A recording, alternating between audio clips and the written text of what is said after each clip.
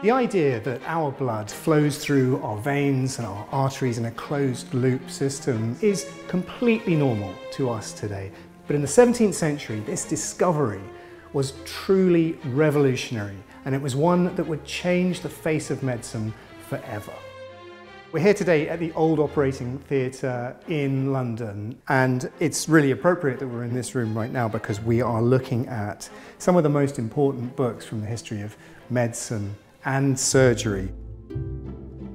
This book, William Harvey's De Motu Cordis, is the first description in human history of how the blood circulatory system in humans actually works.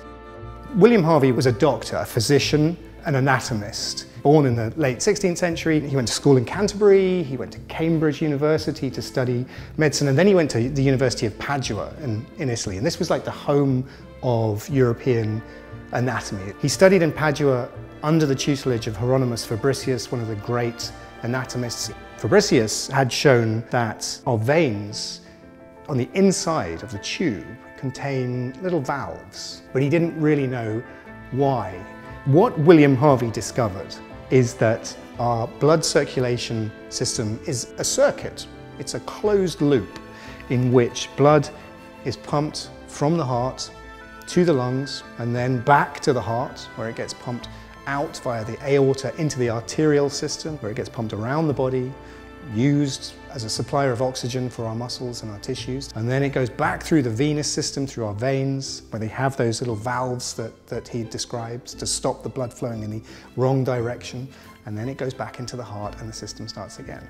Until this point, people had all sorts of ideas about what the blood was doing, how it was made, with the liver converting food into blood, how it was being used up as fuel in our muscles, how it was conveying some sort of vital energy in us, none of which is, is true. William Harvey worked this out through doing anatomy, through looking at the structure of veins, through looking at the structure of the heart, and he is rightly regarded as a really important figurehead in the history of, of medicine as a result of this book right here.